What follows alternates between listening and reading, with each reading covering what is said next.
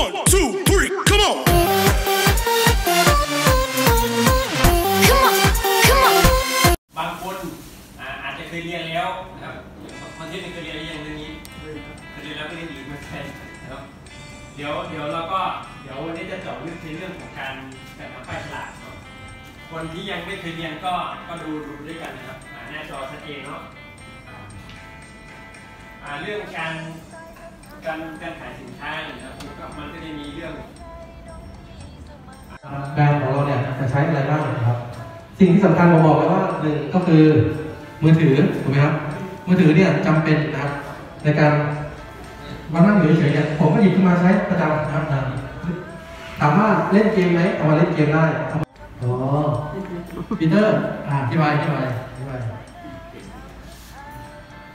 ก็ไม่อยู่ไหนเลยไม่อยู่ไหน อ่าเดินมาเดินมาเลยมุสลิมเดินมา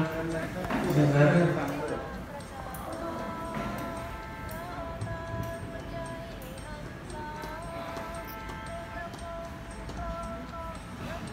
ก็13นาทีแล้วด้วยครับอ่าพร้อมยังครับพร้อมยังโอเค เดี๋ยวของพีเตอร์เสร็จแล้วก็เดี๋ยวค่อยไปต่อตอนบ่ายเนาะอ่าอ่าตอนนี้ลองให้พีเตอร์อธิบายดูว่าพิสเป็นอะไรพิสตาก้าเหรอเอ่อ กล้ากล้าเขียนดินครับมันกระโดดดาไปแปดปีครับอ๋อถามว่าก็เป็นอีกแนวหนึ่งนะครับ แต่ว่าผมดูแล้ว มันก็ถามว่าอะไรมันก็มันก็ใช้ได้ แต่แต่ตัวหนังสือเนาะตัวหนังสือตัวเนี้ย อาจจะเอามาไว้ตรงข้างล่างคำว่ากาแฟเพื่อกาแฟเนี้ยในกรอบกลมๆตรงเนี้ย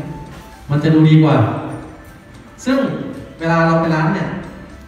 วลาเราไปร้าน เราเวลาตัดสติกเกอร์เนี่ย ร้านเนี่ยเขาจะตัดแค่วงกลมมาให้ใช่ไหมครับเหรอ